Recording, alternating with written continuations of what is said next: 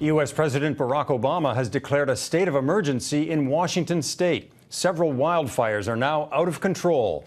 Thousands of people have been forced from their homes, and high winds are pushing one of those fires within six kilometers of the Canadian border.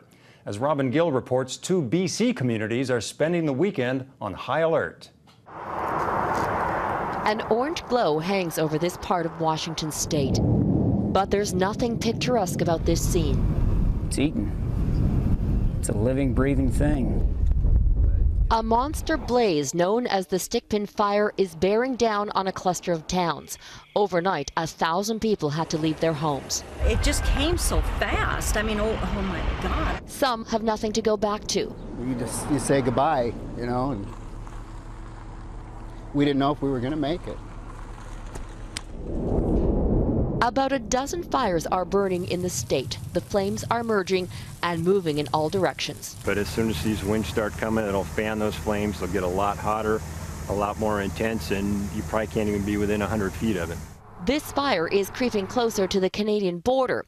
In BC, two communities, Grand Forks and Christina Lake, are on alert. We are putting some uh, some initial kind of preliminary plans together right now as to what uh, a BC response might look like uh, in terms of the fire. There is certainly potential for it to uh, potentially, you know, hit the U.S.-Canadian border. Back in Washington, firefighters stopped to honor three of their own killed fighting the flames.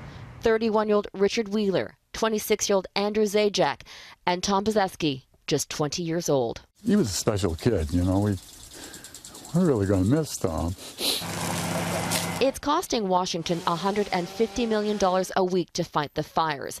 And for the first time, the state is asking for civilian volunteers to help. Firefighters are also arriving from Australia and New Zealand. This is uh, an unprecedented cataclysm in our state. There are 390,000 acres burning. It is flying down this hill. And more and more residents are running from the flames. I think I might need to go. A dry landscape and epic winds are allowing a very aggressive fire to get the upper hand. Robin Gill, Global News, Vancouver. It is a different story in Alberta. Can you believe they are already seeing snow in the Rockies west of Calgary? Webcams at the Lake Louise Ski Resort and Sunshine Village show snow is falling at higher elevations. Don't get your skis out yet, however. The snow isn't expected to last.